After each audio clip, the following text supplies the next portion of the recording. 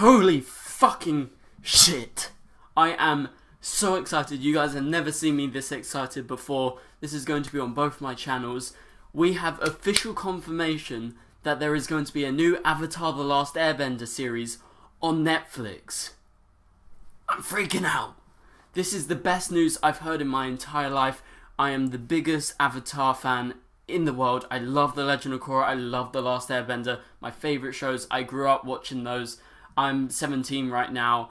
I've grown up watching them and I'm just freaking out right now because this is my favorite show of all time. It's going to be live action. I'm really excited because they can rectify the wrongs with the film and it's from the creators unlike the film. So Michael so Michael DiMartino and Bryan Konietzko are actually coming back for this. This is so exciting.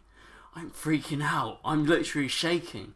Okay, so I'm going to read through what has been said and just get ready, guys. Subscribe for more Avatar content because when this comes out, I'm making videos on this every single day, and you know it. So here we go. I'm going to read through this article. Sorry if I'm looking away.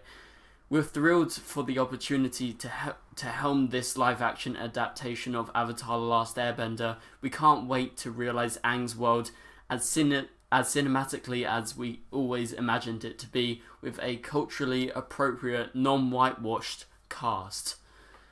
It's a once in a lifetime chance to build upon everyone's great work on the original animated series and go deeper into the characters' story and action and world building.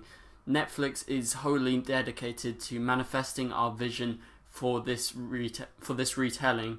We're incredibly grateful to be partnering with them, and wow, uh, oh, that is so ridiculously great. You don't understand. So I love that it's on Netflix, and I have full confidence because Netflix is known for giving people the full confidence and full creative control of the people who are creating the show. So this gives Michael and Bryan actually the full control that they had on the Nickelodeon series and on The Legend of Korra as well. And so this is so exciting. They're going to cast them themselves. They're going to be in the process of making this entire thing work.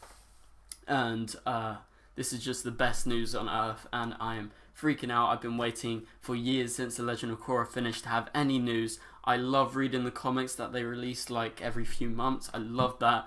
But you guys need to get so excited. Let me know in the comments below. Are you a massive fan? I'm super excited. I'm shaking right now.